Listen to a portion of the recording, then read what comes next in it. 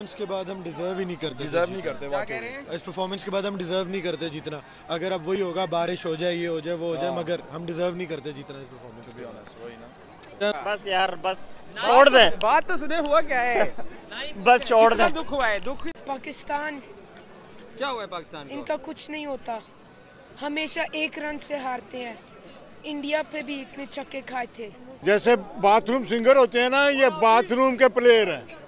बस इतना काफ़ी है इनके लिए। जान ये क्यों इन्होंने अगर हमारा मिडिल ऑर्डर है क्या? आप मुझे ये बताएँ अगर ओपनर सारे आउट हो जाते हैं तो मिडिल ऑर्डर क्या कर रहा है? छनके बचाने आया इधर। ये क्या कर रहे हैं भाई? भाई चैंपियंस ट्रॉफी में ये बरकत पीछे खा रहे थे इधर क्या कर रहे हैं? पाकिस्तानी टीम में ना थोड़ी सी कॉमन सेंस होनी चाहिए थी। इतना छोटा टोटल है एटलीस्ट प्रॉपर खेलें। मिडिल ऑर्डर पहले भी नहीं चला अब भी नहीं चल रहा। सर देख लें अब आए बड़ी दूर से काम छोड़कर। सारे दोस्त जमा हुए थे पाकिस्तान को सपोर्ट करने के लिए। लेकिन आप परफॉर्मेंस देख लें बाबर की कंसिस्टेंटली कुछ परफॉर्म ही नहीं कर रहा। फिर उसके बाद आप हैदर अली को देख लें किस तरह से वो आउट हो रहा है। आसिफ अली को भी देख लें। सो डिसअपॉइंट ही हुए हैं। They are out of the world cup और इनको अपनी कंसिस्टेंसी पे फिर वर्क करना पड़ेगा और बाबर आज़म और रिजवान को जो है अपनी फॉर्म वापस लाने के लिए कुछ ना कुछ रन स्कोर करने पड़ेंगे। बस यार बस। छोड़ दे इट्स ओके मैन हार जीत होती रहती है। ऐसे ऐसी टीम ऐसी टीम से हा, हार का दुख नहीं होता।